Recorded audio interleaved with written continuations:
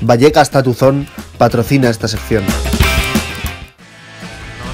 Nos encontramos con Eva Alonso tras la derrota 3-0 ante el Atlético de Madrid del Rayo Vallecano Femenino. Muy buenas, Eva. Bueno, primero, dura derrota en un partido que habéis intentado, pero que la Atleti ha sido superior. Sí, esa idea ya la llevábamos desde toda la semana. Sabemos a lo que venimos, pero bueno, yo creo que ha habido fases de partido que hemos creído que podíamos hacerlo y bueno, hemos dado todo lo que teníamos. Como dices, al final este partido no es vuestra liga, pero aún así la habéis luchado y podéis estar orgullosas. Sí, yo creo que al final en todos los partidos tienes que salir a luchar, como que vas a sacar algo. Sí que es verdad que eso es el líder de la liga, de los más altos, entonces pues nosotros podría decirse que no es nuestra liga.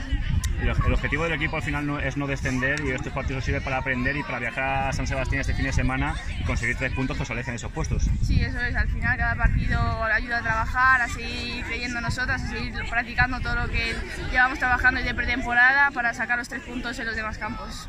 Eva, en lo personal, eh, esta semana eh, has sido, has sido convocada con la selección española, un lujo para ti, imagino que un sueño para ti. Sí, yo creo que es un sueño que tiene toda futbolista, desde pequeña yo lo he tenido y pues eh, se ha cumplido este año.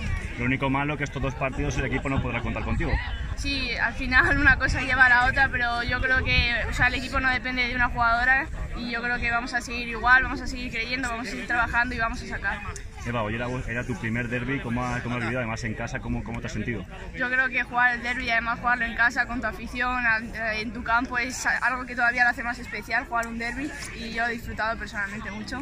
Y frente a estas jugadoras que seguro que has aprendido un montón. Sí, al final son jugadoras que tú llevas viendo en la televisión mucho tiempo y ahora encontrarte frente a frente con ellas pues aprendes mucho. Por último, para acabar, ¿cómo ha sentado dentro del vestuario el rechazo del, del club a no abrir el estadio?